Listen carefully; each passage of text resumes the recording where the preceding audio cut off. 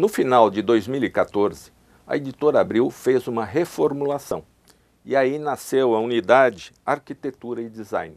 Está aqui com a gente o Tiago Afonso, que é diretor de marketing e publicidade desta unidade. É bom ter você aqui. Muito obrigado pelo convite, é um prazer estar aqui.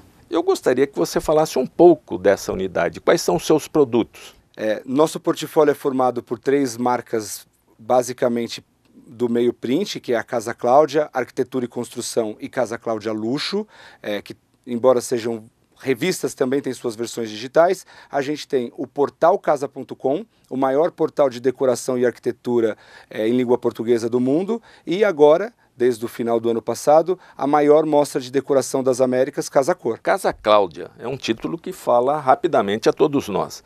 É, como que vai esse produto? Qual é a sua tiragem hoje, sua venda em banca, suas assinaturas? Hoje, esse é um título, como tem, a gente tem visto um comportamento bastante comum no, nas revistas. É um título que tem a maior parte da sua circulação voltada para assinantes. A gente vê um crescimento forte daquelas pessoas que querem a comodidade de receber a revista em casa, e isso representa cerca de 80% da circulação total da revista, que está girando hoje em torno de 140, 130 mil exemplares por mês. E no caso arquitetura e construção? A arquitetura ela é uma revista mais de serviço, ela te ensina, ela traz para você aquilo que você deveria saber se você pretende construir. Bom, sua responsabilidade, você já introduziu Casa Cor. Quantos mercados? Em 20 mercados? 20 mercados no Brasil, 4 no exterior. São ações anuais? Anuais. Cada uma das mostras acontece. Na verdade, duas dessas mostras são bienais, mas a, todas as outras são anuais. Aqui em São Paulo, nós seremos em que período e qual local? Em São Paulo, a mostra abriu no dia 26 e vai até 12 de julho no Jockey Clube de São Paulo. Ali nós teremos quantos ambientes apresentados? Poxa, esse ano a gente incorporou um conceito que havíamos monitorado ao longo do ano passado do menos e melhor. Então a gente tem uma redução do número de ambientes, serão 76 ambientes, já foram quase 100. Mas para conseguir fazer menos ambientes, tivemos que construir casas novas, porque os ambientes que a gente tinha no Jockey não representava a diversidade de arquitetura que a gente gostaria de representar na mostra. Você diria que essas são novidades para Casa Cor São Paulo? Essa é, uma, é a primeira novidade, menos e melhor, a sensação de que as pessoas consigam de forma prazerosa ver todas as referências e não se sentir uma maratona.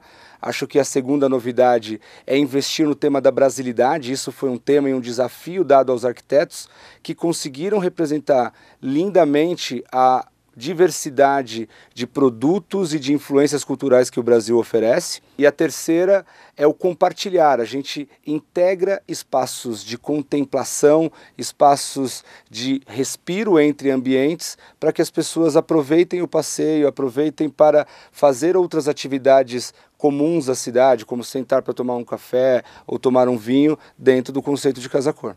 Nós temos aí várias marcas se apresentando.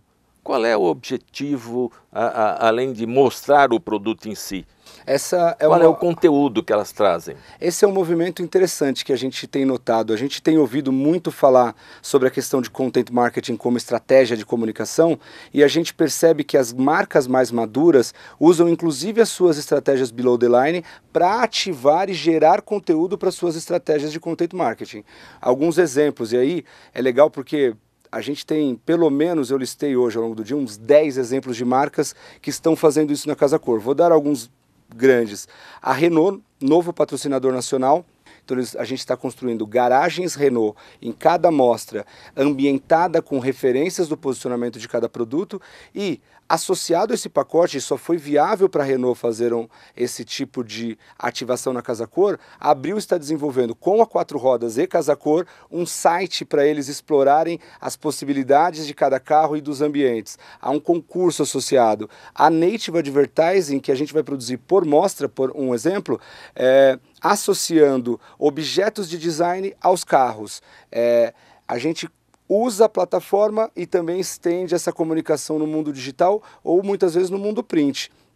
Caso de Brilha. Brilha é o nosso patrocinador de lâmpadas de LED. Ele usa a plataforma para gerar educação e mostrar para as pessoas como já é avançada a tecnologia de LED, como ela já consegue promover uma série de tipos de iluminação diferentes e atender às necessidades decorativas, mas também de olho na economia e na durabilidade, é, e a partir dessa diversidade de ambientes que ela produz, ela cataloga isso, vai produzir um catálogo, vai produzir é, anúncios para nossas revistas com conteúdo e uma série de conteúdos educativos em vídeo, texto, para o site portalcasa.com. E aí, dentro desses exemplos, eu acho que a, a linha comum de todas as grandes marcas maduras que estão usando o Casacor, eu percebo esse movimento. Below the line associado à produção de conteúdo para solidificar suas estratégias de content marketing. Maravilha, Tiago. Muito obrigado pela tua presença, sucesso constante, Muito tanto obrigado, nos títulos como especialmente na Casa Cor.